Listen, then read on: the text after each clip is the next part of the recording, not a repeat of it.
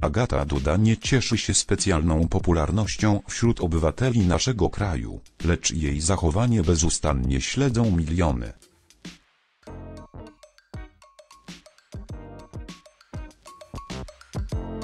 Kobieta wywołuje skrajne emocje u Polaków, a jej ostatni przemarsz 6 stycznia również nie obył się bez kontrowersji.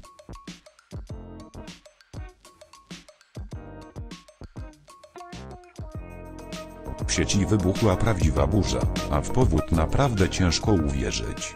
Agata Duda zdecydowanie nie jest ulubioną pierwszą damą wszystkich Polaków.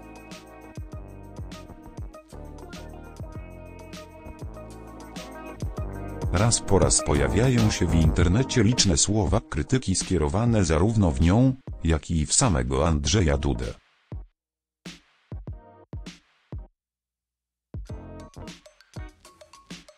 Obywatele często wypominają parze prezydenckiej przesadną bierność w sprawach politycznych oraz bezmyślne posłuszeństwo rządowi PiS, im jednak najwyraźniej to nie przeszkadza.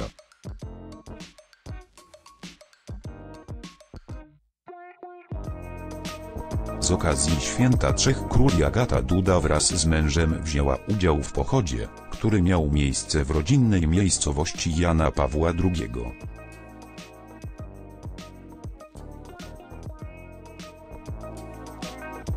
Publiczny przemarsz oczywiście nie mógł obyć się bez kontrowersji, powód burzy w sieci jest jednak zadziwiający.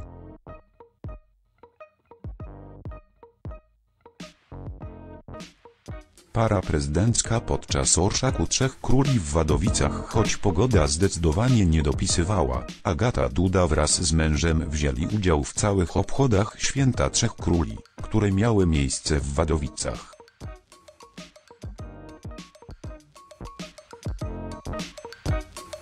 Kobieta postanowiła przetrwać intensywne opady śniegu chroniąc się grubym płaszczem z ogromny, futerkowym kołnierzem, podczas gdy szyja prezydenta Polski pozostawała odsłonięta, prezentując czerwony krawat.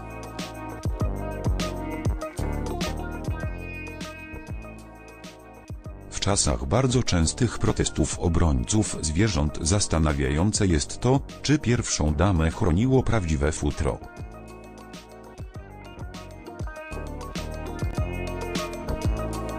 Uzupełnienie tej informacji z pewnością mogłoby wywołać prawdziwą wojnę, jednak o dziwo tym razem nie ta kwestia rozjuszyła internautów nieprzychylnych parze prezydenckiej.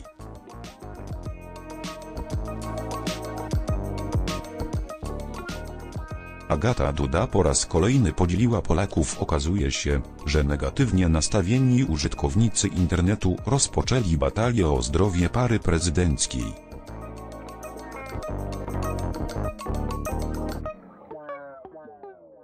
Pod materiałami z całego wydarzenia pojawiły się dziesiątki komentarzy osób, które nie mogły zrozumieć, dlaczego Agata Duda wraz z mężem nie noszą czapek oraz skutecznie nie chronią się przed zimnem.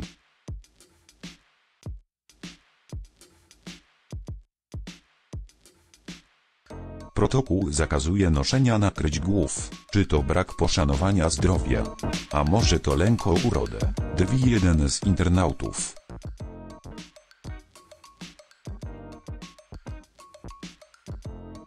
Wyglądać to zawsze chce idealnie, ale żeby zrobić coś konkretnego dla Polski, to już nie bardzo.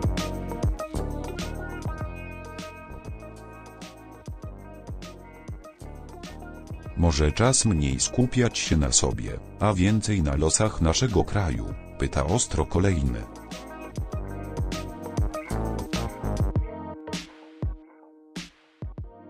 Czapki się nie nosi, bo zepsuje idealną fryzurę. A potem urlopik, pensja jest odpowiednia, więc nie ma się o co martwić.